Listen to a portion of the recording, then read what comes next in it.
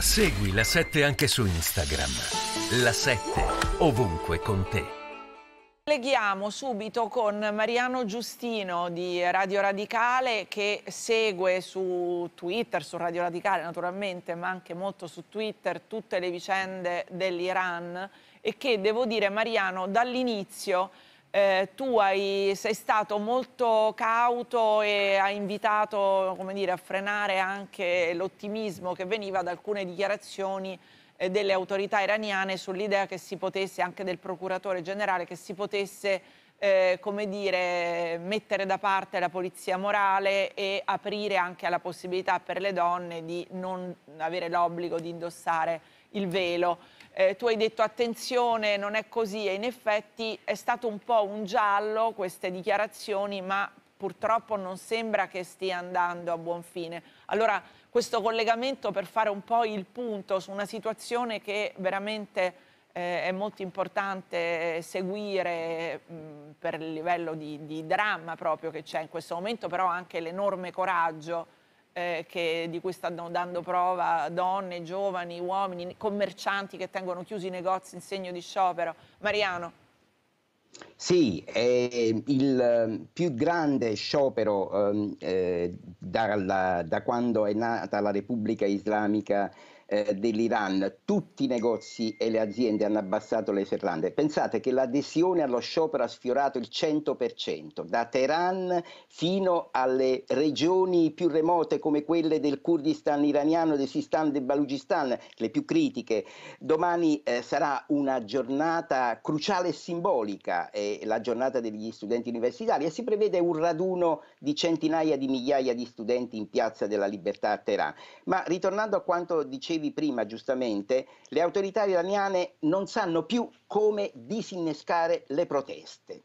Davanti a giovani che li affrontano a mani nude puntan- con i fucili puntati eh, sono disperate e domenica si erano appunto inventate, letteralmente inventate, l'abolizione della polizia morale, ma ciò non era vero, come era evidente fin dal primo momento, perché non era stato confermato da alcuna autorità e media di regime ed è stato un tentativo, diciamolo, goffo di ingannare e di dividere i manifestanti che stanno tenendo sotto scacco le forze di sicurezza da 80 giorni. Le autorità iraniane speravano di, di, di disinnescare eh, in questo modo la pacifica rivoluzione di assicurare la comunità internazionale presentando un apparente volto riformatore. Il gioco delle autorità iraniane sulla rimozione dell'hijab non è altro che un inganno i giovani rivoluzionari non si vogliono far mettere da parte questo, con questo trucchetto. Chi sacrifica la propria vita manifestando a mani nude davanti a proiettili non è in strada per togliere l'obbligo del velo, ma per cambiare un intero sistema, il regime. E appare anche come propaganda quella iraniana per l'Occidente che finora ha mostrato di credere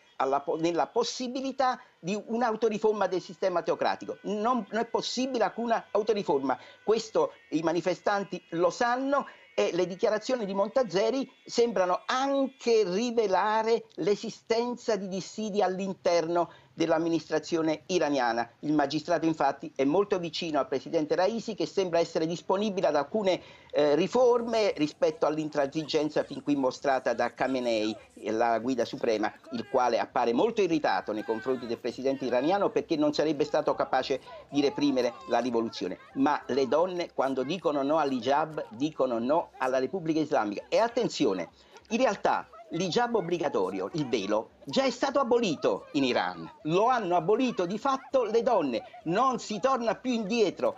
È un altro Iran quello che sta però, nascendo. Mariano, per però noi vediamo che la repressione è veramente molto forte.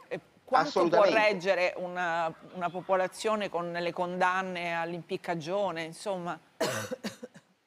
Ecco, la popolazione è determinata ad andare avanti e lo si sta vedendo. Quanto può reggere dipende anche dal sostegno che l'Occidente, il mondo libero, è in grado di eh, dare a questi studenti, eh, di assicurare a questi studenti. Quale sostegno? Cioè, gli studenti dicono il regime lo abbattiamo noi, voi non sostenete più la Repubblica Islamica dell'Iran che ammazza i propri figli. Ecco, il sostegno che può arrivare sarà molto importante, quello di isolare questo, questa Repubblica Islamica è di inserire i Pasdaran, cioè le eh, milizie, le, i militari del corpo delle guardie rivoluzionarie, i loro leader, cioè nel, eh, nell'elenco delle organizzazioni terroristiche come stanno facendo la Germania, per esempio, come ha fatto il Canada e, e eh. come eh, stanno dichiarando anche altri paesi. L'Italia su questo, ahimè, è un po' indietro. Sentiamo un momento, grazie Mariano Giustino. Intanto volevo chiedere